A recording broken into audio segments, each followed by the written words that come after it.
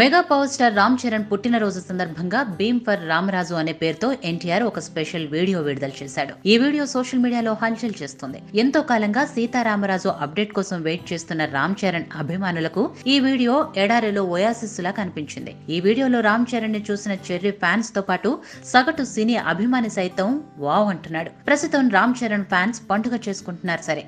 మరి ఎన్టీఆర్ అభిమానుల సంగతి?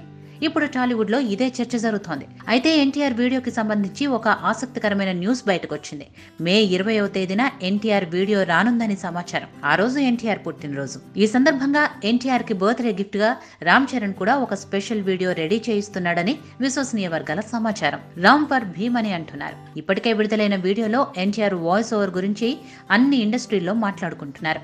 మరి రాబోయే కొమరం భీమ్ వీడియోలో ఎన్టీఆర్ ఎలా ఉండబోతున్నాడో అంటూ అభిమానులు ఇప్పటి నుండే ఆసక్తిగా వెయిట్ చేస్తున్నారు. ఆ స్పెషల్ వీడియో కోసం మే ఇరవై వరకు వెయిట్ చేయక తప్పదు మరి.